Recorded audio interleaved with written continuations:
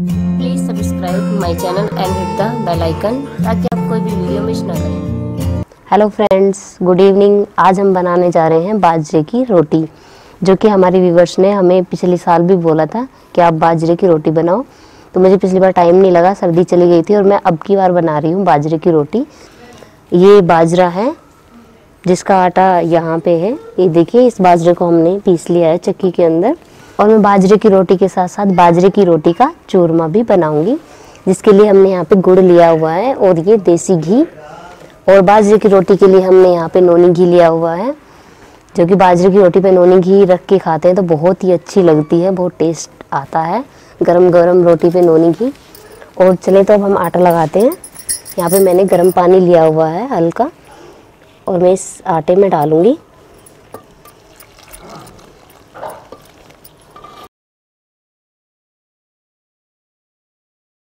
इसमें थोड़ा थोड़ा पानी डाल के हम आटा लगाएँगे। और इसमें हम थोड़ा पानी और डालेंगे।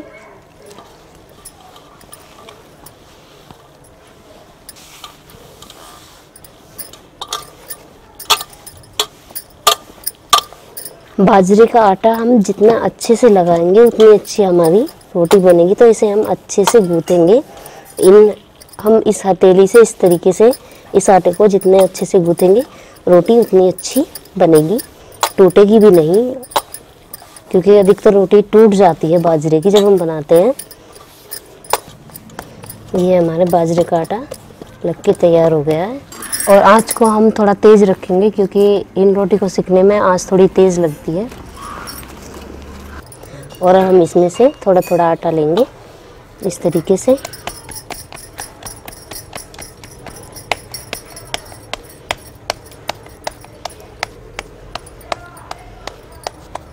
और इसको मैं इस तरीके से उंगलियों से थोड़ा थोड़ा बढ़ाऊँगी।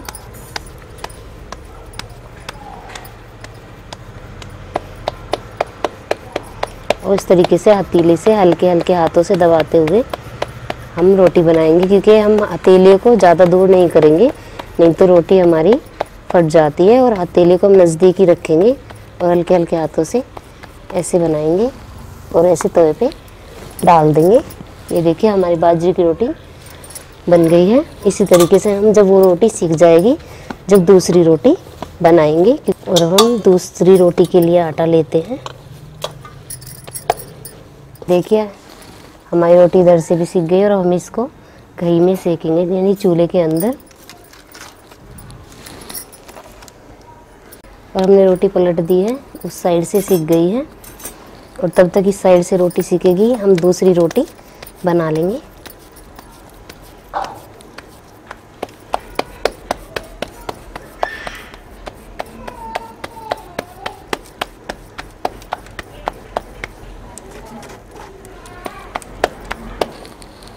और ये देखिए, हमारी बाजरे की रोटी सीख गई है। इसी तरीके से हम दूसरी रोटी भी सेक लेंगे। और हम जब दूसरा आटा लेते हैं तो हम थोड़ा थोड़ा पानी लगा के उसको हथेली से दोबारा गूँथ लेते हैं ताकि वो और अच्छे से रोटी बने।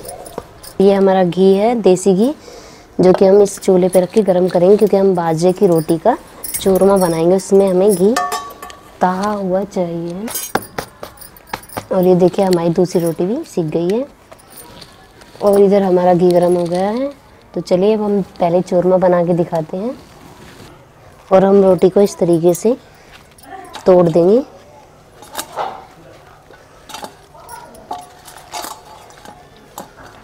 गरम है।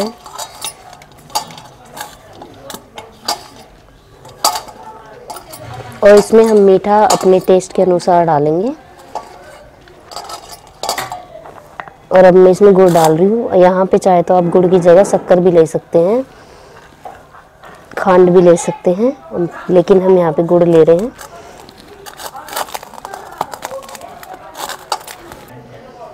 और अब मैं इसमें घी डाल रही हूँ। और इसको अच्छी तरीके से मिला लूँगी।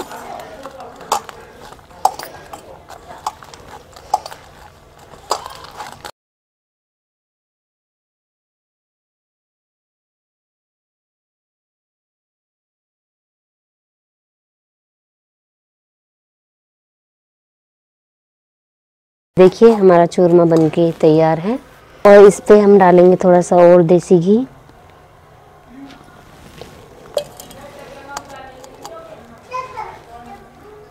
और हम, हमने बाजरे की रोटी का चूरमा बना दिया है। और अगर हमारी ये रेसिपी आपको बहुत अच्छी लगी हो तो हमें लाइक कमेंट शेयर ज़रूर करें।